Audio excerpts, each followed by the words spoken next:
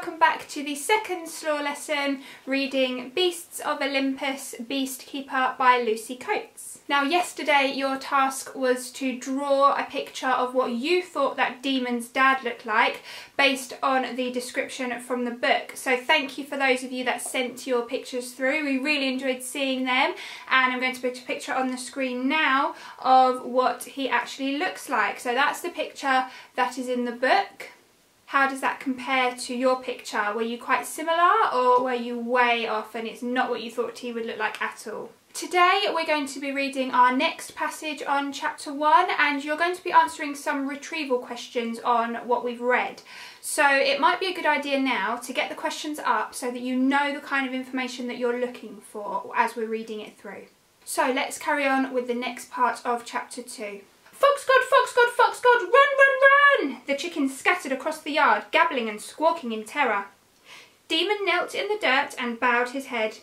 He wasn't too sure if that's what you did with a dad, but it was certainly what you did with a god. Especially if that god was Pan, ruler of forests and all wild creatures. A god who could call up a pack of ravening bears and that would rip you to bits in an instant. Pandemonius, my boy, said his dad. Pan's voice was like mossy bark on ancient trees. It was deep and velvety with a hint of crumbly roughness at the edges. Even though it was Demon's real name, no one had ever called him Pandemonius. Even the mountain wolves called him Demon, and they tended to be rather formal in their speech. Demon was about to tell his dad how silly his full name sounded when he felt a pair of huge hands under his armpits. He was lifted up into a god hug that smelled of pungent green things, goatee musk and old stale blood. Good to meet you at last, my son. Come on, let's find your dear mother, Caris, and get your things together.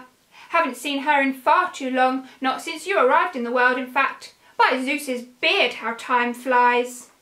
So that is all we're going to be reading of the story today. Your questions that you've got to answer now Question one is what is Pan the ruler of?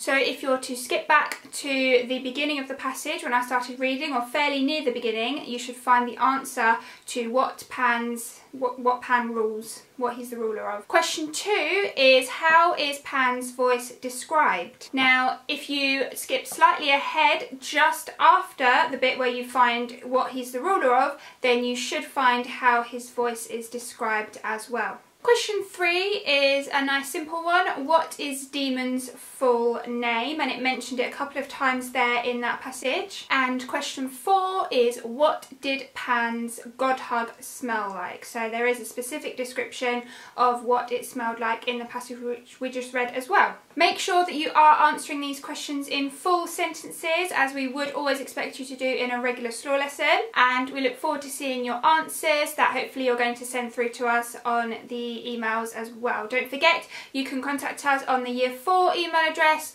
or the individual class email addresses as well. Thanks for watching and I'll see you in tomorrow's lesson. Bye!